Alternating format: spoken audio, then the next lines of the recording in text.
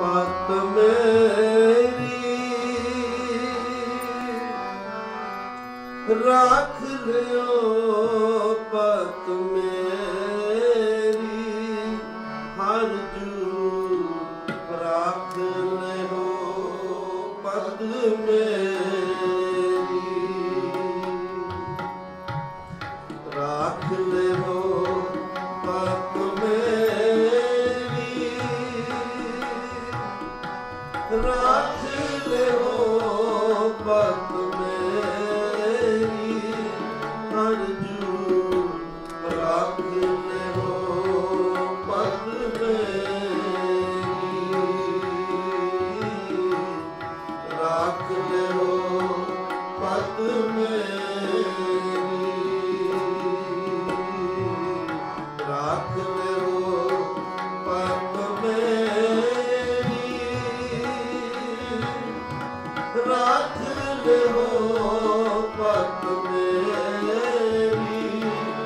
ਹਰ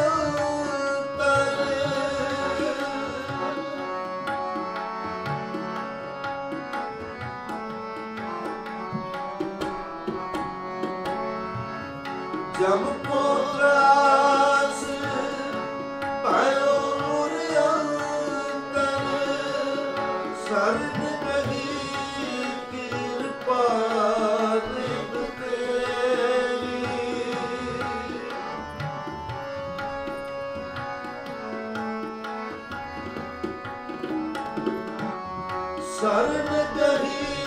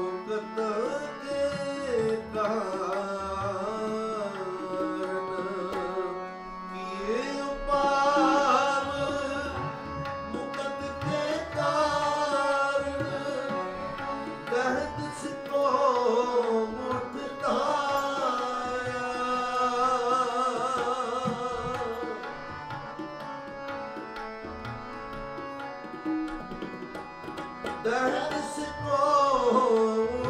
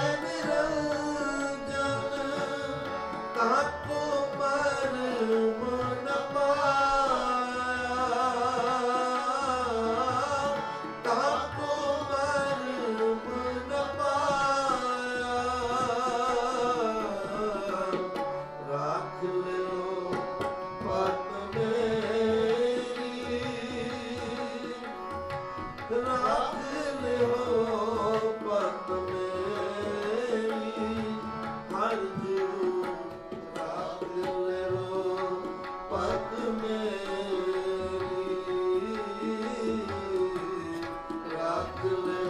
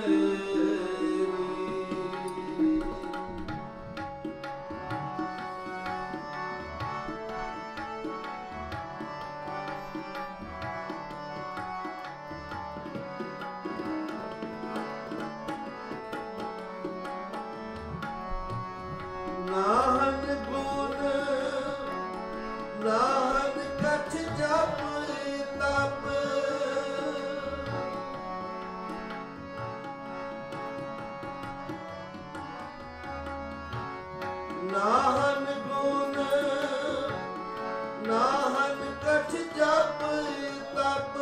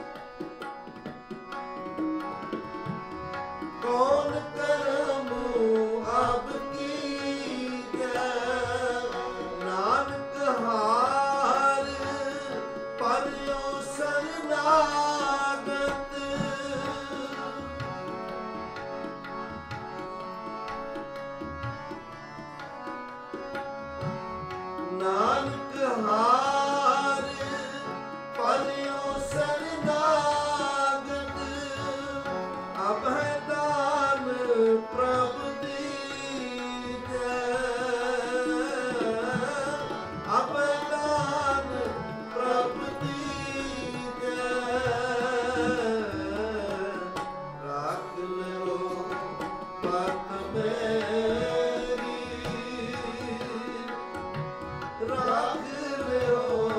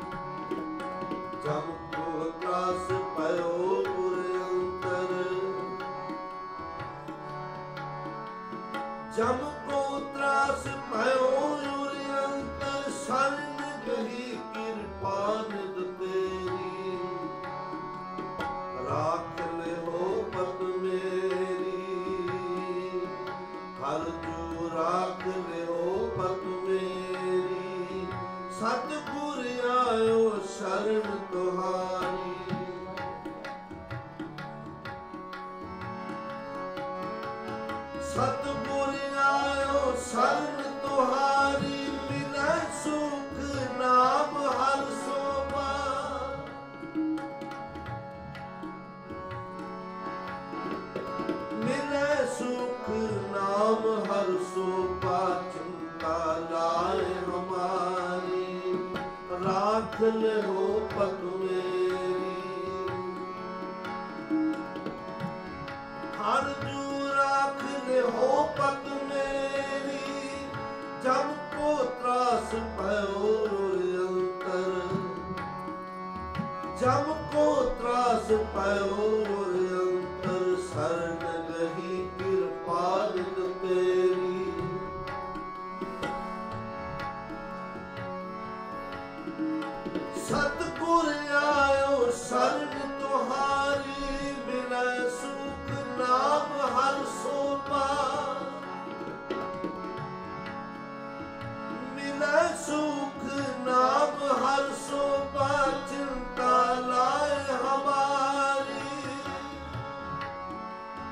ਅਮਰ ਨ ਸੂਜੈ ਦੂਜੀ ਥਾਰ ਰਾਖ ਲਿਓ ਪਤ ਮੇਰੀ। ਅਮਰ ਨ ਸੂਜੈ ਦੂਜੀ ਥਾਰ ਹਾਰ ਪਰਿਓ ਤਉ ਦਵਾਰੀ ਰਾਖ ਲਿਓ ਪਤ ਮੇਰੀ।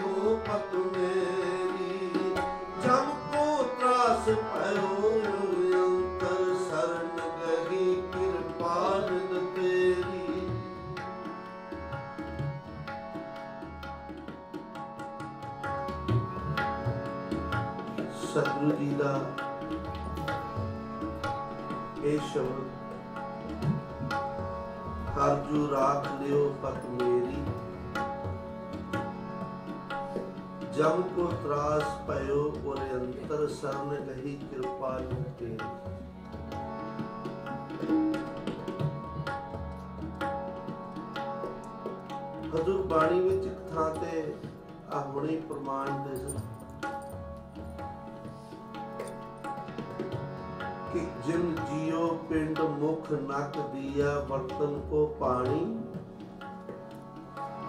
ਅਨ ਖਾਣਾ, ਕੱਪੜ ਪਹਿਨਣ ਦੀਆ ਰਸ ਅਨੁਭੋਗਾਣੀ ਅਕਾਲ ਪੁਰਖ ਵਾਹਿਗੁਰੂ ਨੇ ਮਨੁੱਖ ਨੂੰ ਸਾਰਾ ਕੁਝ ਦਿੱਤਾ।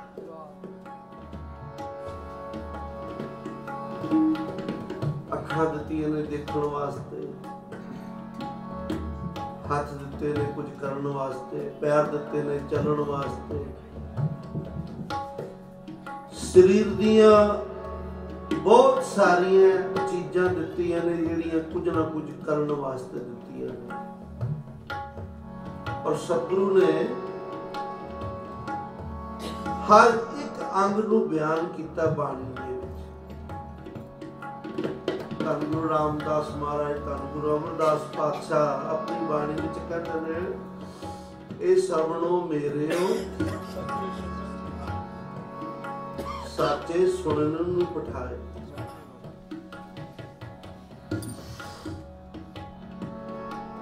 ਇਹ ਮੇਰੇ ਕੰਨੋ, ਹੋਰ ਕੁਝ ਨਾ ਸੁਣਿਓ। ਤੁਹਾਨੂੰ ਅਕਾਲ ਪੁਰਖ ਵਾਹਿਗੁਰੂ ਨੇ ਇਹ ਕੰਨ ਦਿੱਤੇ ਨੇ। ਸਤਿਗੁਰੂ ਕਹਿੰਦੇ ਨੇ, ਇਹ ਸਰਵਣੋ ਮੇਰਿਓ।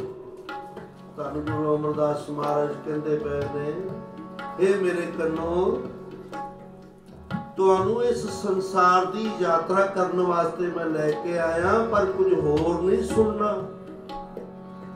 ਕੇਵਲ ਤਾਂ ਕੇਵਲ ਸਾਚੇ ਸੁਣਨ ਨੂੰ ਪਠਾਏ ਸਾਚੇ ਸੁਣਨ ਨੂੰ ਪਠਾਏ ਸਰੀਰ ਲਾਏ, ਸੁਣੋ ਸਤ ਬਾਣੀ। ਸਤ ਬਾਣੀ ਸੁਣੋ ਹੋਰ ਕੁਝ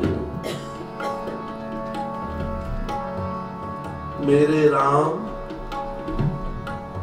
ਇਹ ਨੀਚ ਕਰਮ ਹਰ ਮੇਰੇ ਗੁਣਵੰਤਾ, ਹਰ ਹਰ ਦਇਆਲ ਕਰ ਕਿਰਪਾ, ਬਖਸ਼ ਅਵਗੁਣ ਸਭ ਮੇਰੇ। ਸਤਿਗੁਰੂ ਕਹਿੰਦੇ ਨੇ ਕਿਛ ਰੂਪ ਨਹੀਂ, ਕਿਛ ਜਾਤ ਨਹੀਂ, ਕਿਛ ਢੰਗ ਨਾ ਮੇਰਾ। ਮੈਨੂੰ ਚੱਲਣਾ ਨਹੀਂ ਆਉਂਦਾ। ਮੈਨੂੰ ਤੁਰਨਾ ਨਹੀਂ ਆਉਂਦਾ। ਮੈਨੂੰ ਬੋਲਣਾ ਨਹੀਂ ਆਉਂਦਾ। ਬੈਠਣਾ ਨਹੀਂ ਆਉਂਦਾ, ਉੱਠਣਾ ਨਹੀਂ ਆਉਂਦਾ।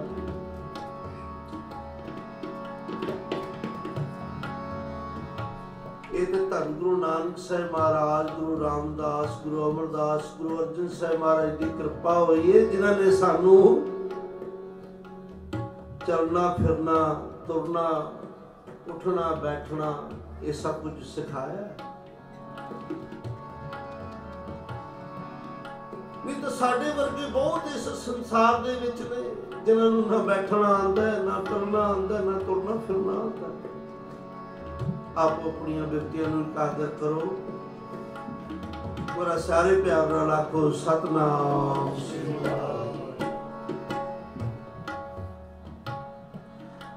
ਸਤਿਗੁਰੂ ਜੀ ਦੀ ਬਾਣੀ ਸਾਨੂੰ ਸਹਿਜ ਅਵਸਥਾ ਵਿੱਚ ਲਿਆਂਦੀ ਹੈ, ਸਹਿਜ ਅਵਸਥਾ ਵਿੱਚ। ਸਤਿਗੁਰੂ ਦੀ ਬਾਣੀ ਚੰਚਲ ਨਹੀਂ ਹੈ। ਚੰਚਲ ਬਿਰਤੀ ਨਹੀਂ ਬਣਾਉਂਦੀ। ਸਹਿਜ ਅਵਸਥਾ ਦੀ ਬਿਰਤੀ ਬਣਾਉਂਦੀ ਹੈ।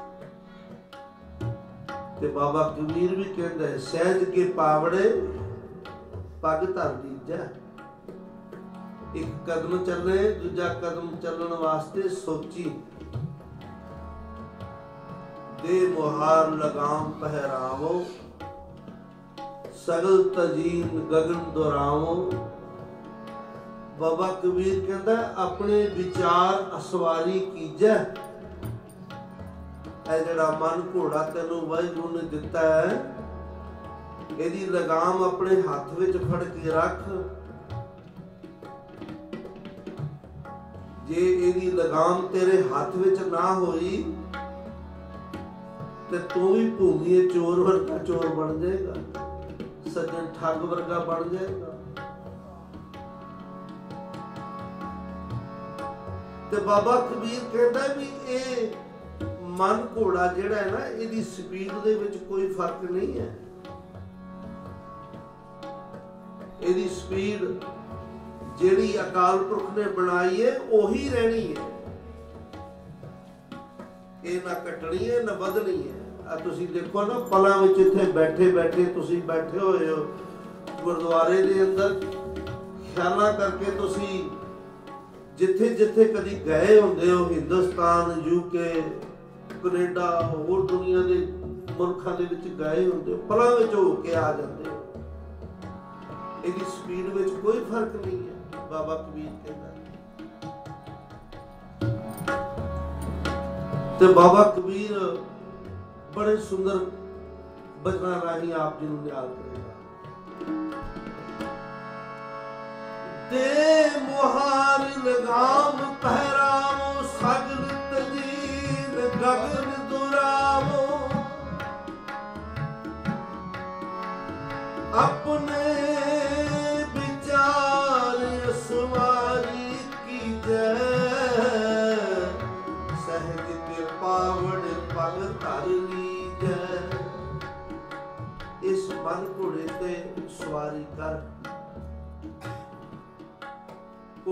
ਬੈਠਣ ਵਾਲਾ ਅਸਵਾਰ ਜਿਹੜਾ ਉਹ ਘੋੜੇ ਦੀ ਲਗਾਮ ਆਪਣੇ ਹੱਥ ਵਿੱਚ ਫੜ ਕੇ ਰੱਖਦਾ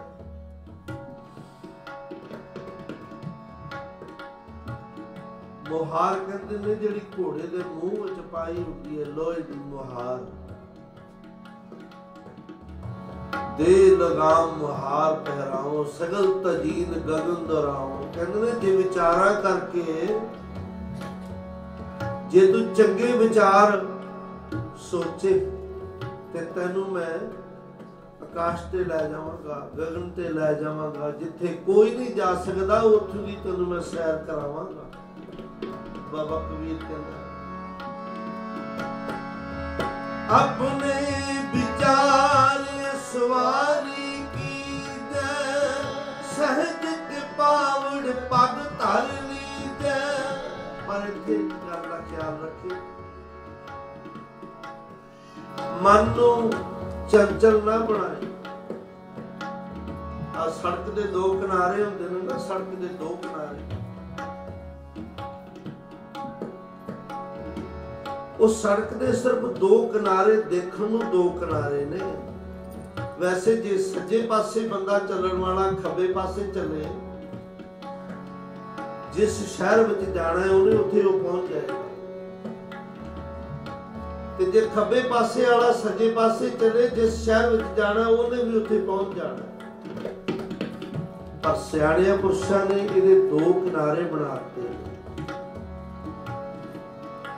ਸੱਜੇ ਪਾਸੇ ਵਾਲਾ ਖੱਬੇ ਪਾਸੇ ਨਹੀਂ ਚੱਲ ਸਕਦਾ। ਖੱਬੇ ਪਾਸੇ ਵਾਲਾ ਸੱਜੇ ਪਾਸੇ ਨਹੀਂ ਚੱਲ ਸਕਦਾ, ਕਿਉਂਕਿ ਐਕਸੀਡੈਂਟ ਹੋ ਸਕਦਾ।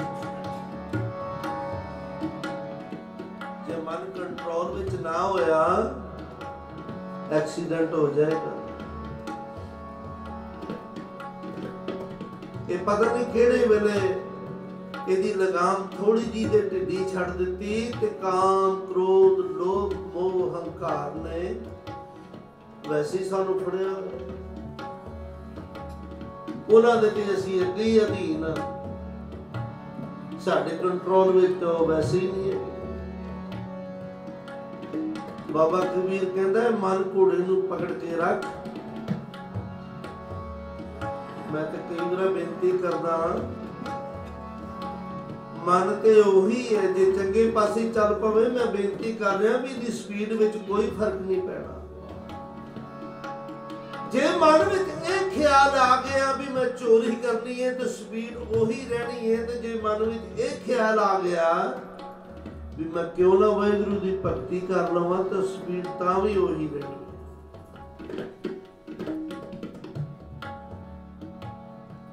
ਜਿੰਨਾ ਸਮਾਂ ਨਕਸ਼ਾ ਬਣਾਉਣ ਵਾਲੇ ਨੂੰ ਲੱਗਣਾ ਹੈ ਉਨਾ ਹੀ ਸਮਾਂ ਨਕਸ਼ੇ ਤੇ ਚੱਲਣ ਵਾਲੇ ਨੂੰ ਲੱਗਣਾ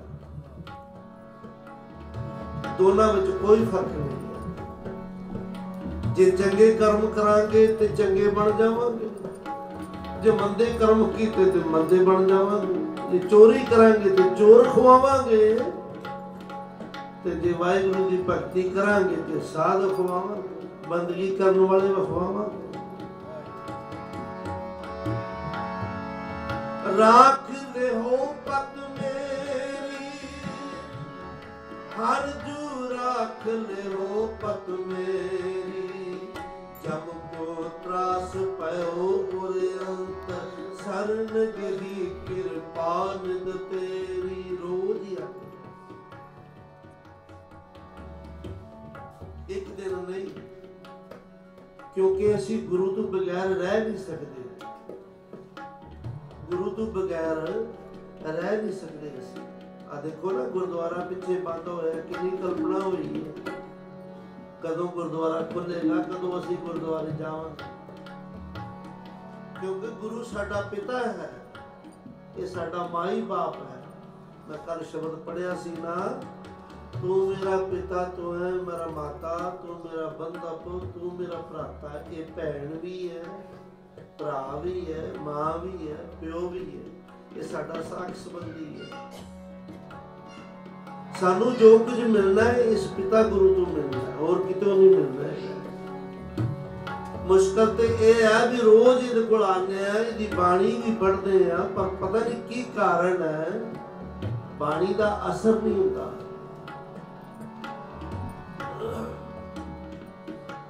ਸਿੱਖ ਦੀ ਪੇਟ ਤੇ ਹੱਥ ਮਾਰ ਕੇ ਜਿੰਨੀ ਮਰਜ਼ੀ ਸੇਵਾ ਕਰਵਾ ਲਓ, ਲੰਗਰ ਦੀ ਸੇਵਾ ਕਰਵਾ ਲਓ, ਝਾੜੂ ਮਰਵਾ ਲਓ ਵੈਕਿਊਮ ਕਰਵਾ ਲਓ।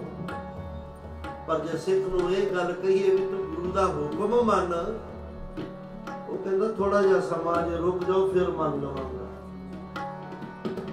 ਗੁਰੂ ਦਾ ਹੁਕਮ ਮੰਨਣ ਨੂੰ ਤਿਆਰ ਨਹੀਂ। ਬਾਕੀ ਸਭ ਕੁਝ ਮੰਨਣ ਨੂੰ ਤਿਆਰ ਹੈ। ਗੁਰੂ ਦਾ ਹੁਕਮ ਮੰਨਣ ਨੂੰ ਤਿਆਰ ਨਹੀਂ। ਸਤਿਗੁਰੂ ਬਾਣੀ ਵਿੱਚ ਕਹਿੰਦੇ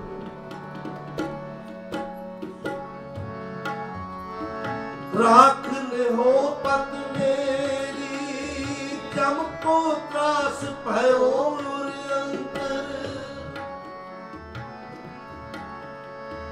ਚਮਕੋ ਤਰਾਸ ਭਇਓ ਅੰਤਰ ਕੋਟ ਤਤੀਸ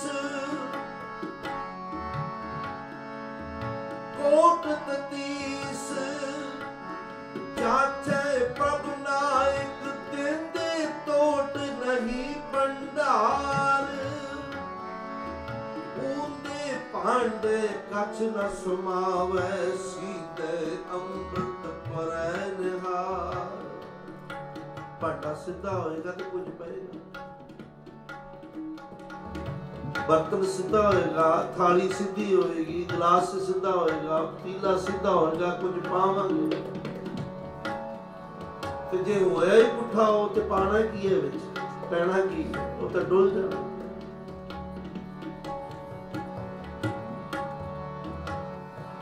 ਜੇ ਮਨ ਦਾ ਬਰਤਨ ਸਿੱਧਾ ਨਹੀਂ ਹੈ, ਤਾਂ ਫਿਰ ਕੁਝ ਨਹੀਂ ਪੈਣਾ ਵਿੱਚ। ਜਿੰਨੀ ਦੇਰ ਮਨ ਦਾ ਬਰਤਨ ਸਿੱਧਾ ਨਹੀਂ ਹੁੰਦਾ ਉਨੀ ਦੇਰ ਤੱਕ ਬਾਣੀ ਦਾ ਪ੍ਰਕਾਸ਼ ਨਹੀਂ ਜਿਉਣਾ। ਬਾਣੀ ਅੰਦਰ ਨਹੀਂ ਦੇ ਜਾਣੀ, ਬਾਣੀ ਤਾਂ ਤਾਂ ਹੀ ਜਾਏਗੀ ਜੇ ਮਨ ਦਾ ਬਰਤਨ ਸਿੱਧਾ ਹੋਏਗਾ। ਬਾਬਾ,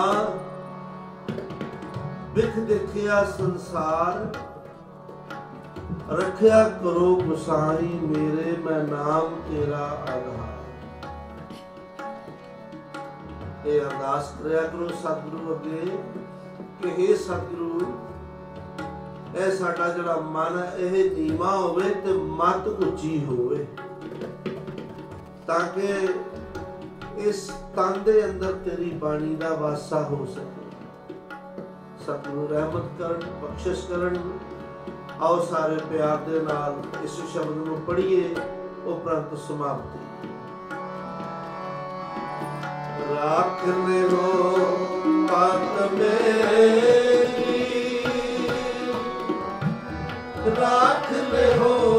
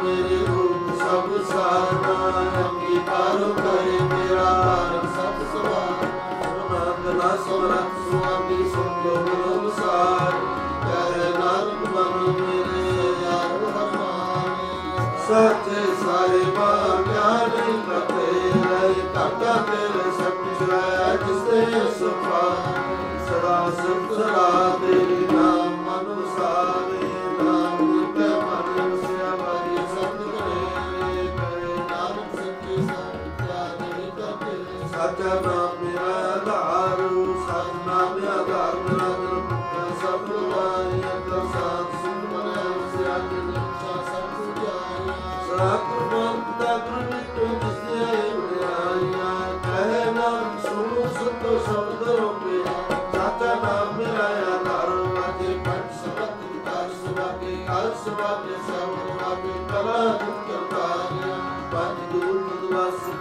ਕਾਰਜ